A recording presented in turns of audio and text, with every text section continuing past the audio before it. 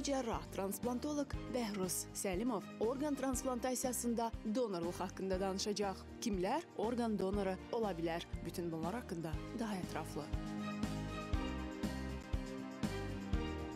İnvaziv kardioloq Rasim Məhərrəmovun təqdimatında həftə içi 5 gün ictimai kanalda. Və ikinci hissəyə start verdik artıq. Anonsdan da gördünüz, mövzumuz nədən ibarətdir? Orqan nəqlindən danışacağıq. Konkret olaraq böyrək köçürülməsindən, böyrək transplantasiyasından bəhs edəcəyik. Çox önəmli bir mövzudur. Çox saylı insanın buna ehtiyacı var həqiqətən də, amma bunlar kimlərdir? Hansı hallarda baş verir? Hansı xəstəliklər nəticəsində böyrəklərimizi itirə bilərik və ümumiyyətlə bunu kimsəyə arzu etmirəm. Allah hər kəsin kömək olsun. Önəmli məqam belə bir hal olarsa, donor kimlər olmalıdır? Hansı şəraitdə, hansı şəkildə, hansı kriteriyalara əsasən seçilir və əməliyyat necə baş tutur? Əməliyyatdan sonrakı xəstələrin aqibəti o yeni əldə olunmuş belə deyək də o böyrəklərin sonrakı fəaliyyəti aqibəti necə olur? Bütün bunlar haqqında biz az sonra məlumatı əldə edəcəyik. Studiyada e, artıq qonağımızı görürsünüz. Bəhruz doktor studiyamızın qonağıdır. Ümumi cərrah transplantoloq Bəhruz Səlimov bu gün studiyamızın qonağıdır. Salam. Xoş gəlmisiniz doktor. Xoş gününüzə gələk. Minnətdarıq e, iştirakınızı burada alqışlayıram çünki kifayət qədər önəmli bir mövzudur. Biz bu gün burada danışacağıq və çox tibbi maariflənmə nöqteyi nəzərən həqiqətən də e, çox əhəmiyyətlidir. Öncə orqan köçürülməsi, transplantologiya, ümumiyyətlə böyrək transplantologiyasının ölkədəki vəziyyəti ilə bağlı nədir? Söhbət nədən gedir? Hansı səviyyədədir? Öncə bundan bir giriş edək ümumi olaraq, sonra isə konkret olaraq böyrək nəqlindən bəhs edəcəyik ki, hansı hallarda böyrək nəqli, yəni kəskin böyrək yetməzliyi və ya xroniki böyrək yetməzliyi yarana bilər. Bəli. Ümumiyyətlə e, belə bir e, xroniki böyrək yetməzliyi və e, böyrək transplantasiyasına ehtiyac olan xəstələr haqqında Ümumdünya Səhiyyə Təşkilatı təqribən əhalinin 10-15 faizində böyrək şikayətləri və bunların da 10-15 faizi qədəri dializ və böyrək köçürməyə ehtiyac duyduğunu bildirir. Bu Ümumdünya Səhiyyə Təşkilatının verdiyidir. Azərbaycanda rəqəmlər bir qədər fərqlidir. Bu başqa bir mövzudur. Xronik böyrək yetməzliyi e, böyrəyin gedərək funksiyalarının, xüsusən süzmə filtrasiya funksiyasının azalması və bədəni toksinlərdən e, təmizləyə bilməmə, e, bədənin daxili mühitinin balansını tənzimləyə bilməməsi ilə nəticələnir. İrəliləyən zamanlarda bu uremiya kimi zəhərlənmə növü deyilən belə, yəni sidiyin qana keçməsi anlamında söz tərcümə olunur toksin, toksiki maddələrin ifraz olunmadan bədəndə yığışıb qalması ilə əlaqədardır. Və bundan əlavə e, anurik fazasında, böyrək yetməzliyin anurik fazasında yəni sidik çıxışı tamamilə, tamamilə dayanır. Bu müddət ərzində insan yediyi bütün, e, yəni qəbul etdiyi bütün qidalar, hətta yediyi bütün qidaların tərkibindəki maye bədəndə yığışaraq qalır. Bu insanın tərləri çox e, xoş qoxumur, belə deyək, və bədəndə hər həddən artıq qan həcminin artması ilə xarakterizə olunur. Bunun açıqlamasını yəni sadə dildə söyləyək, tamaşaçılarımız anlasınlar. Yəni ifrazat sistemi dedikdə tər və sidik nəzərdə tutulur. İnsan Bəli. o tullantı məhsullarını sidik və tərlə xaric edir. Sidik tamamilə dayandıqda tər vasitəsilə xaric olunur daha çox olaraq. Buna görə də sidik hissi tərdən gəlir. O qoxu ətrafı da, ətrafda oturan insanları narahat, narahat edir. edir. Adətən belə xəstələrin xəbəri olmadıqda dəri həkimlərinə müraciət edirlər. Çünki bu dəridə qaşınmalar, fərqli töküntülərə belə səbəb olur, səpkilərə səbəb olur və ətrafları da onların tərinin iyili olmasından şikayətçi olurlar. Bu insanlar özləri bunu hiss eləmir, amma ətrafı bunu hiss eləyir. Bu da əhəmiyyətli əlamətlərdən biridir. Həmin həkimə müraciət etmək lazımdır bu fazada. Azərbaycanda transplantasiya demək çox əvvəlcədən başlayıb. Lakin hal-hazırda bizim aktiv 4-5 mərkəzimiz var ki, böyrək köçürülür və çox da uğurlu bu işlə məşğul olurlar. Vətəndaşlarımızın bir hissəsi əfsuslar olsun ki, xarici üst tuturlar, amma yəni bu xidmətlərə biz Azərbaycanda da əlimiz çatır. Belə. E, böyrək çatışmazlığı mən söylədim. Hansı hallarda böyrək hansı xəstəliklərin nəticəsi olaraq ağırlaşması olaraq, hətta belə söyləyim, daha dəqiq olsun, böyrək çatışmazlığı, yəni o dediyimiz sidik çıxışının tamam dayandırılmasına qədər baş verən Bəli. böyrək çatışmazlığına rastlaşırıq. demək olar ki, bu xəstələr həddən artıq çoxdur və istənilən e, de, deyək ki, böyrək e, xəstəliyi sonda e, xronik böyrək yetməzliyinə gətirib çıxarır. Çıxara bilər. Çıxara bilər. Bunun autoimmun xəstəliklər var, glomerulonefritlər var, pielonefritlər var ki, bunların ən sonda amiloidozlar var. E, ikincili məsəl üçün ürək yetməzliyi ilə nəticələnən, yəni ürək yetməzliyinin nəticəsi olaraq, qaraciyər yetməzliyinin nəticəsi olaraq, yəni f- burada necə deyim, bu xəstəliyə tutulmaq üçün səbəblər çoxdur. Əslində böyrək çatışmazlığı baş verdikdən sonra, yəni konservativ müalicə əgər nəticəsizdirsə, Bəli. sonradan e, dializ xəstələrinə, dializə müraciət olunur. Davamlı olaraq dializ xəstələri bir zaman sonra böyrək nəqlinə üz tuturlar. Bəli. Bunun biraz açıqlamasını verərdik. Dializ nədir, əhəmiyyəti nədən ibarətdir? Nədən dializ müvəqqətidir və sonradan böyrək nəqli, böyrək transplantasiyasına gətirib çıxardır? Çox gözəl bir nöqtəyə barmaq basdınız. E, Demək burada vəziyyət necə? İnsanların əslində siz inandığı şey deyirsiniz ki, mütləq dializ olmaq lazımdır, sonra böyrək köçürülməsi lazımdır. Bu belə deyil. Yəni preemptiv deyilən xəstə qrupu var ki, bunlar dializ almadan birbaşa böyrək köçürülür. Dializlə e, böyrək köçürülməsinin e, yəni Ümumdünya Səhiyyə Təşkilatının verdiyi rəqəmlərlə danışacağam. E, Təqribən dializdə insan ömrü 10 ildir. Ortalama olaraq 10 il götürülür. Böyrək köçürülməsində isə bu üst sərhəddi yoxdur. Ən az yəni ortalama desək 25 il kimi bir rəqəm verirlər. Bu da böyrəyin yuxarı-aşağı böyrək e, köçürülən orqanın ömrü kimi qiymətləndirilir. Amma hal-hazırda e, bu immunosupressiv dərmanların inkişafı ilə əlaqədar olaraq yəni artıq insanın ömrü nə qədərdirsə, yəni hər hansı başqa bir səbəbdən e, böyrək köçürülmüş xəstə həyatını dəyişə bilər, amma orqanı hələ də fəaliyyətdə qalır. Yəni yəni burada artıq yeni hüquqi məsələlər ortaya çıxır ki, o öz orqanını kiməsə vəsiyyət eləyə bilər. Belə məsələlər də var. E, Dializ təbii ki, dializ həqiqətən çox güclü bir müalicədir. E, Orqan e, gözləyənə qədər, hansı ki insanların orqana ehtiyacı var və orqanı tapa bilmirlər, həyatları təhlükə altındadır. Bu zaman dializ həyat qurtarır. Həqiqətən həyat qurtarır və çox gözəl müalicədir. Yəni bundan qaçmağa dəyməz. Ancaq varsa sizin e, imkanlarınız ki, orqan köçürülsün. İlk öncə də orqan köçürülsə daha məsləhətli olar. Yəni dializ o zaman vacibdir ki, e, uyğun donor yoxdur ortada, o tapılana qədər o müddət ərzində istifadə olunur.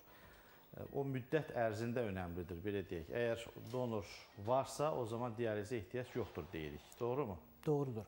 Bu O zaman donorun gəlin seçilməsindən hansı kriteriyalara əsasən, məsələn, bizim qanunvericilikdə bu öz əksini necə tapır? ümumiyyətlə tibbi və leqal e, göstərişlər var. Sizin dediyiniz kimi leqal, yəni hüquqi e, məsələlərə e, toxunduqda ilk növbədə donor 18 yaşından böyük olmalıdır. Yəni özü özü qərar verə bilməlidir. Mühakimə yürütmə qabiliyyətinə təsir edən hər hansı bir psixi xəstəliyi olmamalıdır. Məsəl üçün Down sindromu olan xəstələr özləri haqqında qərar verməkdə bir qədər çətin olur. IQ-ləri aşağı olduğu üçün Əqli uşaq kimi, bəli, əqli zəif olaraq qəbul olunurlar. Xəstəyə hər hansı bir donora hər hansı bir təzyiq olmamalıdır. Bu da çox önəmli hüquqi məsələdir.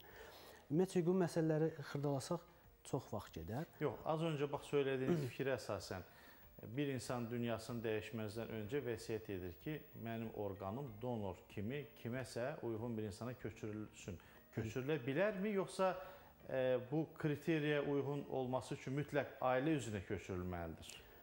Yox, elə bir kriteriya yoxdur. E, Bu e, beyin ölümü keçirmiş, lakin e, bədəni yaşayan insanlar, heart beating deyilən, ürəyi döyünən insanlar, belə bir qrup insanlar var ki, bu xüsusi komanda tərəfindən bunlarda beyin ölümü təsdiq olunur və artıq onlar e, yaxınlarının da icazəsi olmağı ilə və xəstənin öz vəsiyyəti üzərinə orqanları e, digər insanlara e, köçürülə bilər.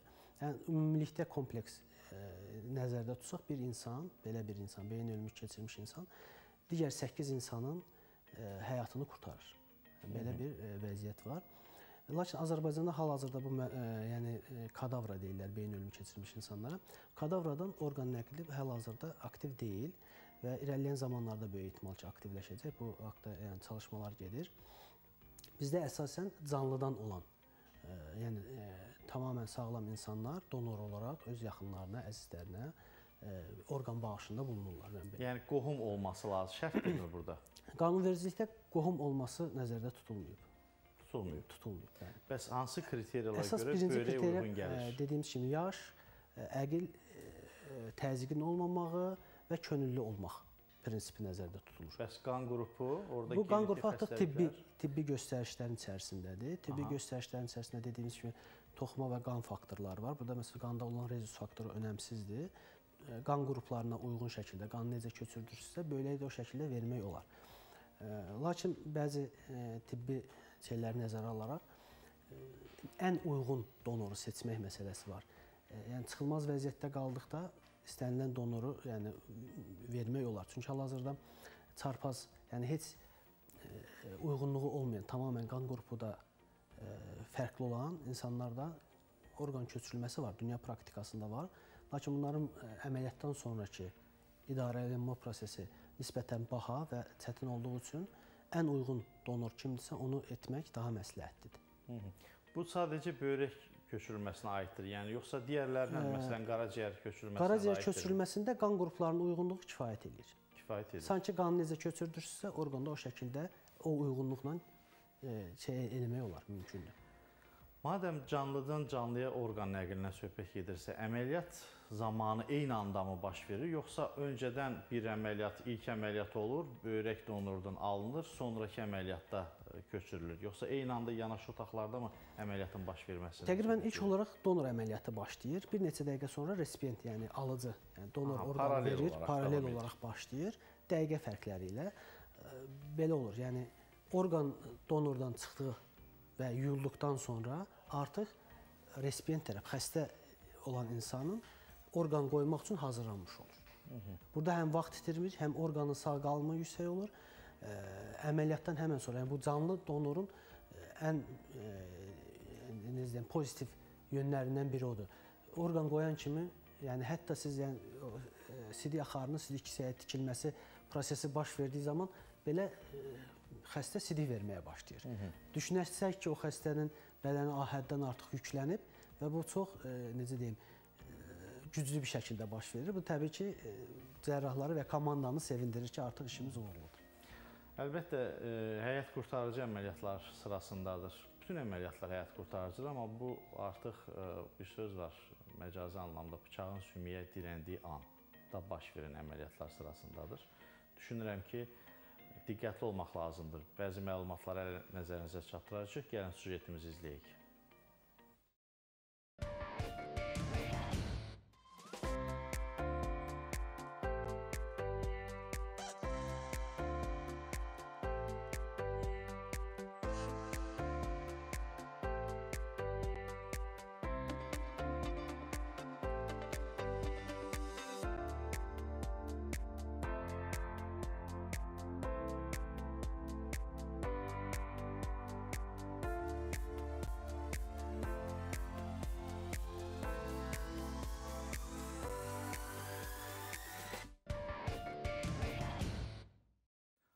Və əlbəttə söhbətimizi Bəhriz doktorla davam etdiririk. Donordan bəhs etdik böyrək nəqli zamanı. Donorun yaş faktoru əhəmiyyətlidirmi? Yəni yaşlı olması və ya gənc olması. Təbii ki, bu da əhəmiyyətlidir. E, dediyimiz kimi birinci hüquqi açıdan 18 yaşını doldurmuş olmalıdır. Digər tərəfi isə biz e, xəstə gəlir və yaxınları gəlir. Əksər hallarda e, xəstə yaxınları orqan vermək üçün canfəşanlıq eləyirlər ki, məndən götür, məndən götür. Belə bir bəzən belə də olur deyək. Bu vəziyyətdə bizim üstünlük verdiyimiz daha yaşlı donorlardır. Yaşlı donorlar belə ki, yəni həyatının böyük bir miqdarını yaşayıblar. 60-70 yaş, bəzən 80 yaş üzərində donorlarımız olur. Və üst yaş məsələsi, yəni yaşın üst sərhədini biz təyin eləmirik. Bu xəstənin daha çox performansına bağlı olan bir şeydir. Əgər xəstənin performansı, yəni donorun, xəstə demək, donorun performansı yaxşıdırsa, e, əməliyyatdan e, heç bir ağırlaşma olmadan çıxacaqsa, yaşına baxmadan biz o xəstəni əməliyyata götürə bilərik. E, Və təbii ki, senil demensiya deyilən bir vəziyyət olur. Xəstənin qərar verməsi burada dəyişmiş olur. Yəni çox yaşlı insanlarda rast gələn bir nar narahatçılıqdır. Bu da ağıl zəifliyi ilə xarakterizə olunan bir vəziyyətdir. Belə bir vəziyyət varsa da biz o xəstədən hər hansı bir müdaxilə və donor kimi istifadəsinin qarşısını alınır. Gənc xəstələr isə həm düşünsək ki, orqanın müəyyən bir ömrü var və müəyyən xəstəliklər bu orqanı zədələyə bilər.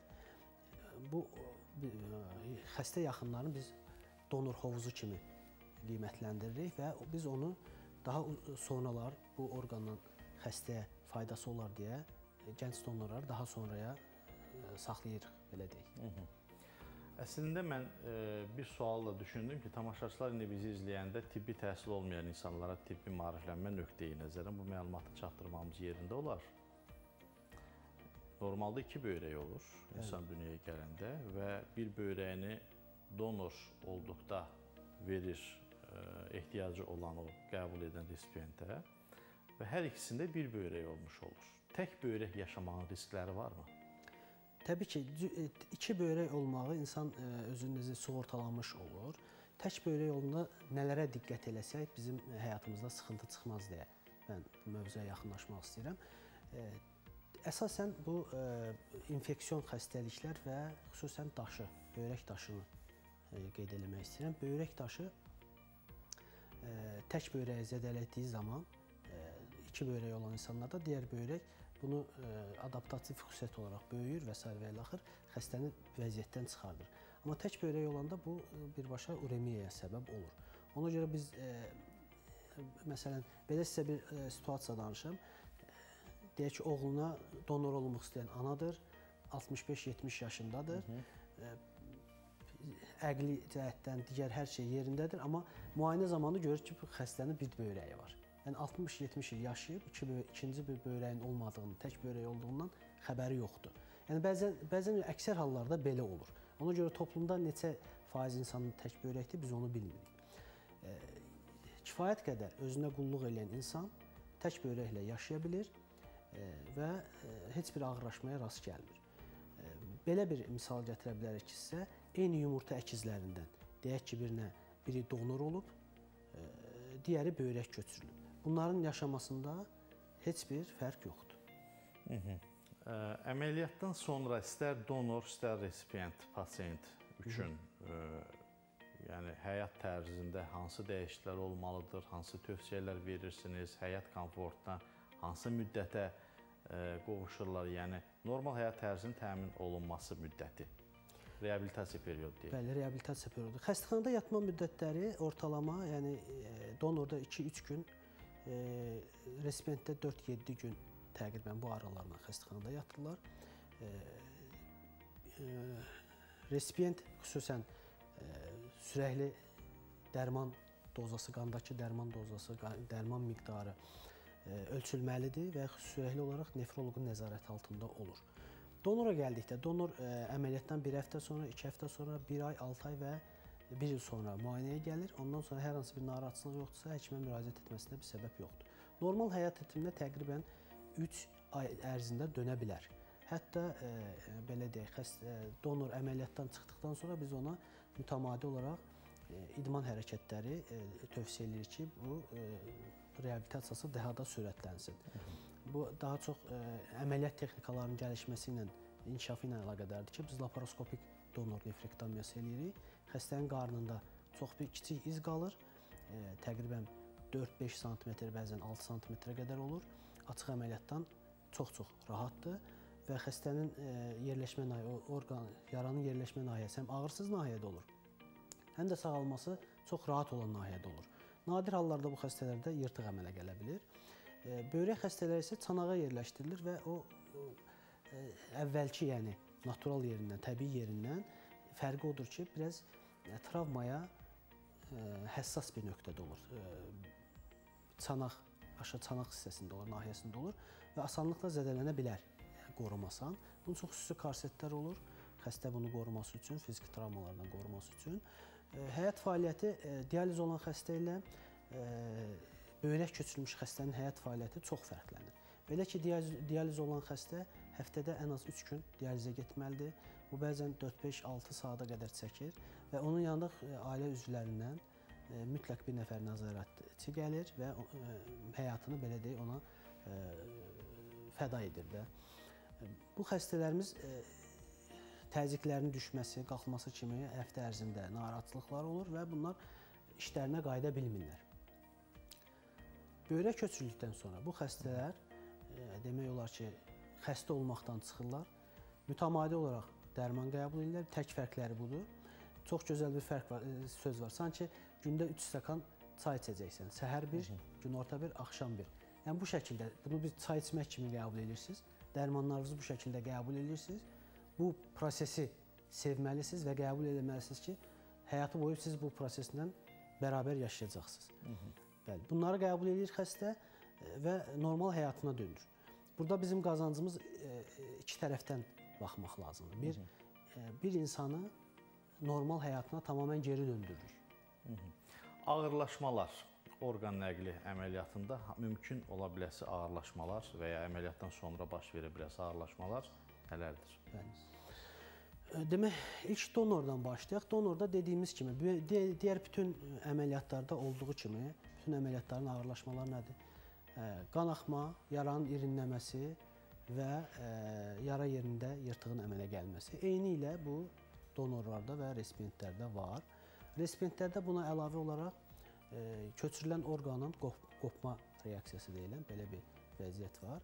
Yəni əslində digər əməliyyatlardan çox da böyük bir fərqi yoxdur. Yəni artıq bu işin içində 10 ildən çoxdur ki, varam və bu artıq çox sıradanlaşıb, adiləşib bu iş. Məsələn, qonşu Türkiyədə bu e, 84 səhv eləmirəmsə orqan köçürülmə mərkəzi var.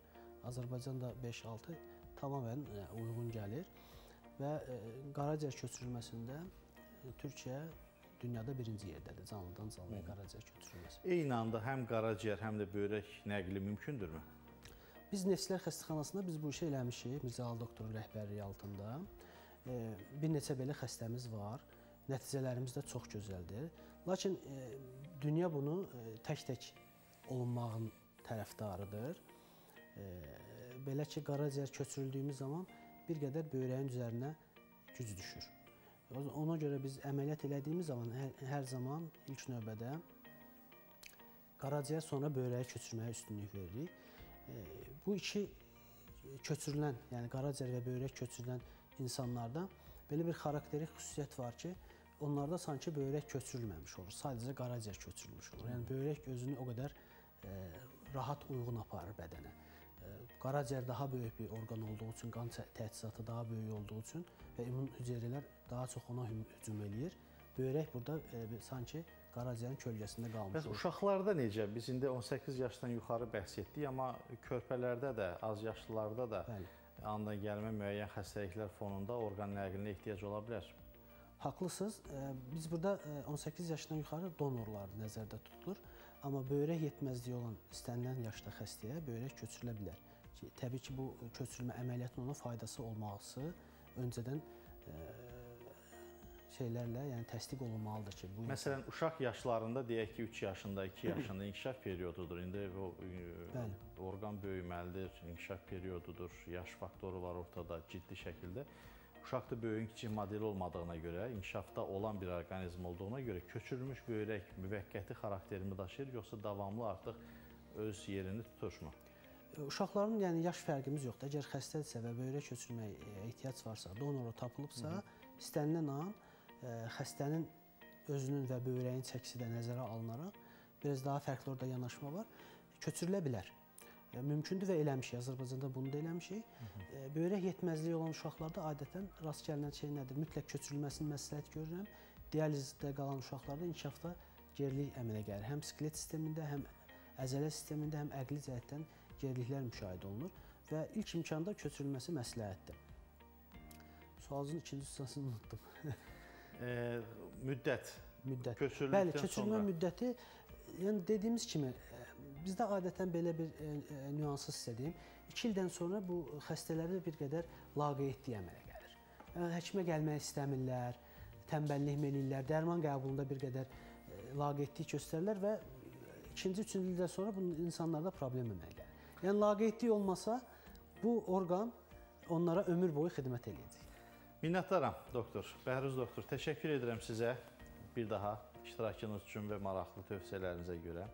Ümid edirəm ki, e, siz də Əziz tamaşaçılarımız, diqqətlə dinlədiniz və bir ümumi cərrah transplantoloqun fikirlərini diqqətlə dinləmək lazımdır. Çünki həyat qurtarıcı əməliyyatlar həyata keçirir. Minnətdaram. Allah can sağlığı versin sizə. Təşəkkür edirəm. İcazənizlə Depavi D3 e, D vitamini qida əlavəsidir. Sizə də o cümlədən təqdim edeyim və əlbəttə bir daha vurğulamaq istəyirəm ki, D vitamini əksikliyi, çatışmazlığı insanlar arasında çoxdur və bu da bir çox xəstəliklərə gündəmdə olan yuxarı tənəffüs yollarının infeksiyalarını, immun sistemin zəifləməsini də meydana gətirə bilər. Mən düşünürəm ki, qida əlavəsi olaraq Depavit D3-dən istifadə etsəniz, siz qış günəşini, yəni günəş şüasını qəbul etmədən belə deyək, ev şəraitinə belə o effekti almış olacaqsınız. Çünki D vitaminin səviyyəsi qanda normallaşmış olacaq. Bu da orqanizmin humoral tənzimləmədə çox mühüm bir əhəmiyyətlidir deyə bilərəm. Sabah nələrdən danışacağıq? Anonsu gəlin izləyin. Mən sizə sabah dək deyirəm. Hələlik.